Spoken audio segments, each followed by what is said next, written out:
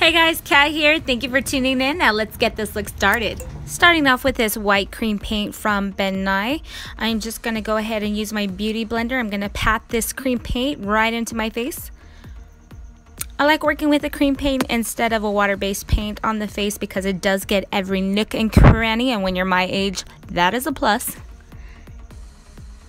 And it also spreads quite evenly, really nice so. Now I'm going to go ahead and take that paint and I'm just going to work it down the neck. You want to make sure that you're going to cover every part of your skin that is going to be showing. Just going to pat that in.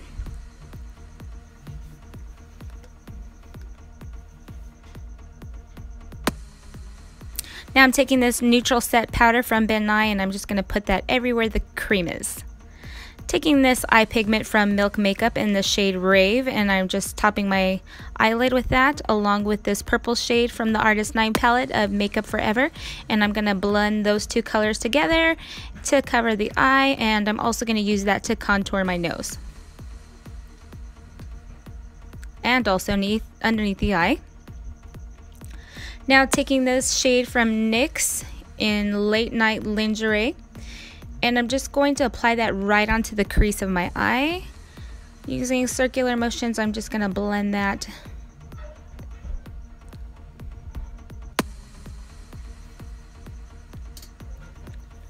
And I'm also going to take it right underneath the eye as well. And using this shade from NYX and Contort, I'm going to use this to contour my cheekbones, also my jawline, and the temples of my head. Now using that same shade, I'm just going to dab it just to kind of dirty it up and make it look not so perfect. Now taking this lip shade from LA Splash Cosmetics in Perilous and I'm just going to coat my entire lip. And wing the ends. Now taking this Wet n Wild shade, it's a metallic shade. I'm going to just top coat the lip with that just to give it a more metallic feel. Now using this LA Splash Cosmetics Pro Artist Liner in Kaleidoscope, I'm going to go ahead and just coat my brow hairs and also my bottom lashes. Now taking this Milk Makeup Eye Pigment shade in Mermaid Paradise and I'm just going to use a spoolie sponge here and I'm going to just dab it just to give a glam moss effect. And you can just dab this anywhere randomly, anywhere you feel like it needs it.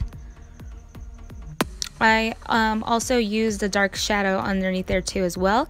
Taking this black liner, just lining my lash line and popping on my lashes. These are in Rave and my fancy contacts from Camo Eyes pop on your wig and that concludes this Beetlebae tutorial.